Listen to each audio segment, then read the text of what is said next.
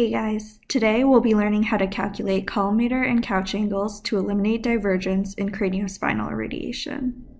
In 3D planning, the collimator angle of the brain fields must match the divergence of the superior spine field. This is to prevent overdose and underdose at the junction. In this example, the collimator is improperly set to 50 degrees. The brain fields overlap with the superior spine fields, creating a hotspot in the C-spine.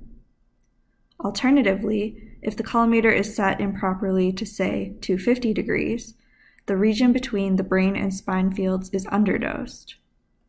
Using a properly matched collimator angle ensures a homogeneous or even dose distribution throughout the spine. The matching collimator angle and couch angle can be found using these formulas. Now, let's try an example.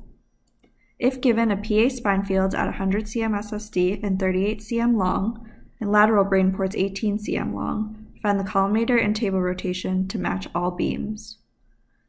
I always recommend drawing a picture. Let's start with the collimator.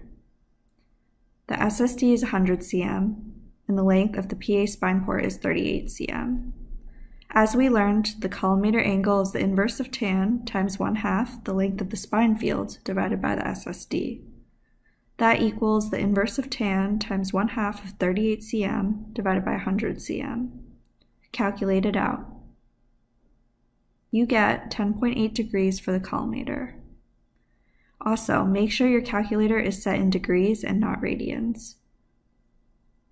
Then, for the couch divergence, draw another diagram. We have an SAD of 100 cm and a brain port length of 18. The couch is the inverse tan of 1 half the length of the brain field, or 18 cm, divided by the SAD, 100 cm. Solve it out. You get 5.1 degrees for your couch.